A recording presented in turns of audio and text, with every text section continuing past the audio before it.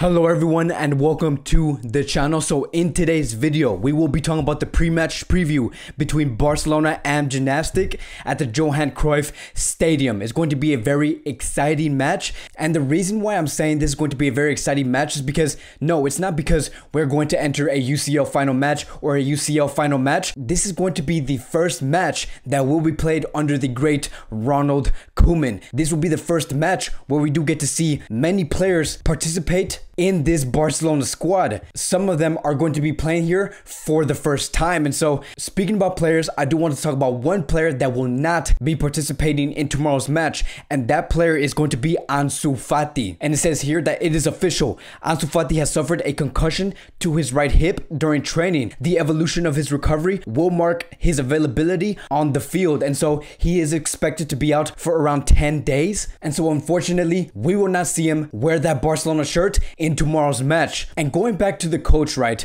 I think that this is going to be very interesting to watch. I think that this is something that many people do want to see. Ever since he did get appointed, we were really wondering and debating to see just how Ronald Koeman will be lining up his Barcelona squad for this upcoming season. And Ronald Koeman is fortunate enough to be working with so much material with this Barcelona club. And so who knows what he does have under his sleeve. And so in this video, we are going to be talking about the three things that Koeman must test in tomorrow's match that we do want to see. And the first key point is going to be the defensive options. The reason why I do want to bring this up is because everything indicates that we might potentially see the same back four that did face against Bayern Munich. And that is very alarming. And right now, we do have Todibo, Araujo, and Miranda, who are three candidates to play under Ronald Koeman. Unfortunately for Miranda, he was loaned out to Schalke 04. And as for Todibo, he is looked to be sold for 25 million euros.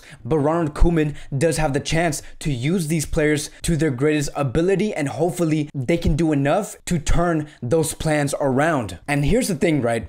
I think that Barcelona right now is in no position to buy any defenders. And the reason why I'm saying that is Look, does Barcelona have money in their bank? Yes, they do. They have the funds in order to invest in a defender. But what Barcelona's plans are is that they do want to invest this money on attackers, on forwards, on right wingers, on left wingers, but they are not putting enough money and focus on any of their defensive options, which is why that it is so important to use players like Araujo and Todibo and Miranda and see if any of those three players can be a hidden gem, a player who can rise on tough occasions like this. And so for tomorrow's match, I do expect to see Todibo and Araujo rotate throughout the game, and I also do expect to see Miranda get a couple of minutes, maybe come in in the second half. Going on to the second key point, and we're going to get very player focused, and I want to talk about two players, and that is Pedri and Trincao. These are two players where ever since they did signed for FC Barcelona and Barcelona announced these two players, they have been two of the most anticipated players to arrive at this club.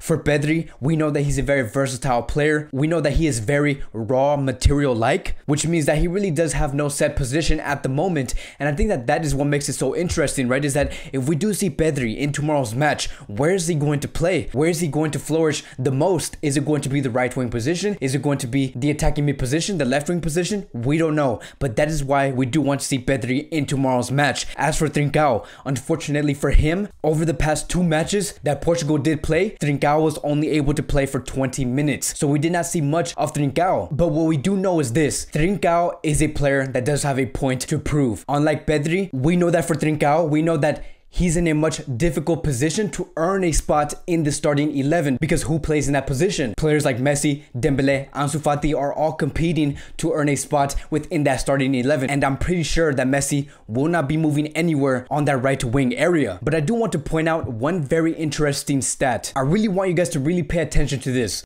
Before he was signed to FC Barcelona, throughout the league season, he has scored 3 goals and provided 5 assists. After he signed with FC Barcelona, knowing that he's going to wear that Barcelona shirt next season, he scored six goals and provided four assists, which was from January 31st until the end of that season. And so what does that tell us? This is telling us that Trincao is aware, that Trincao is aware of the competition that he's going to be facing in the upcoming season. Trincao knows how difficult these obstacles are going to be, which is why that he is reacting. He wants to perform. He knows that he's capable enough to bring those talents, that work ethic for him to be in that starting 11. And that is more than enough to say that Barcelona do have a top, top quality player. If Trincao is aware and he can react, that will only bring good and positives to FC Barcelona. And I cannot wait to see what Trincao can bring in tomorrow's match. And so the pressure will be on Trincao to deliver in this upcoming season. Moving on to the third key point, and that is the formation nation. What in the world is that formation going to look like? Are we going to use a 4-2-3-1 or a 4-3-3? Two formations that have been highly talked about in the past two weeks ever since Ronald Koeman was appointed. And my bet is going to be that Ronald Koeman uses the 4-2-3-1. Because if we actually pay attention to the players that we do have in our roster, this team is built for a 4-2-3-1. And so since we are going to go with a 4-2-3-1 going forward throughout this whole season, this is the type of lineup I do expect expect to see. I do expect to see Sergio Roberto on the right, Todibo and Lenglet take those center back positions. And as for the left back, I do expect to see Jordi Alba. And this is where it gets very interesting, right? Because this is something that has been debated across the whole media, throughout the news outlets. But I think that as for our double pivot for tomorrow specifically, I do expect to see Riqui Puig and De Jong run through that midfield. As for our four attackers, I do expect to see Lionel Messi on the right wing, Coutinho in the middle, Dembele on the left, and Griezmann up top. This is the type of lineup that we have been wanting to see for so long. This is the type of lineup that's going to greatly suit every each and one of these players. And then the question comes in,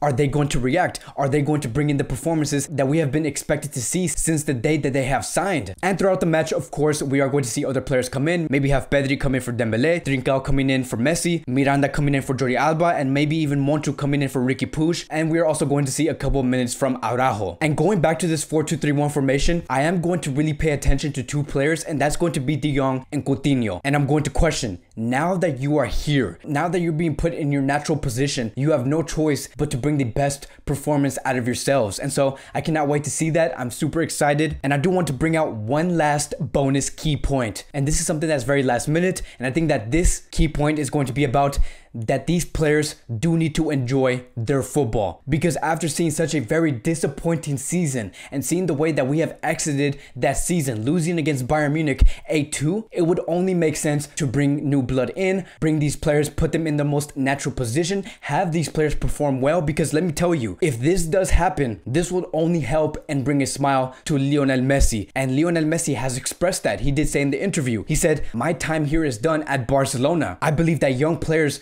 do deserve to come here and replace me. And so that is why I say that we do have a chance to do so in tomorrow's match, to use these new young players and have them perform in their best level. Have fun, enjoy your football, score these goals, provide these assists, make these plays happen, and hopefully we get to see that in tomorrow's match. So as for tomorrow, when the game is all said and done, I will be posting a post-match review for this match discussing who stood out, what were the surprise performances, and overall, how did this team respond to a 4-2-3-1 1 formation. And let me know your three things of what Koeman does need to test in tomorrow's match. Do you want to see of what Messi could do in the cam position? Do you want to see Griezmann play as a second striker? Do you want to see more defensive options on that starting defensive line? There are many questions, many things that we do want to see, but let me know in the comment sections down below. If you guys are new here, welcome to the channel. This is what we do. We make pre-match previews, post-match reviews, and transfer news. And so again, I want to thank you guys so much for watching. Please like, subscribe, comment, and I will see you guys in the next video.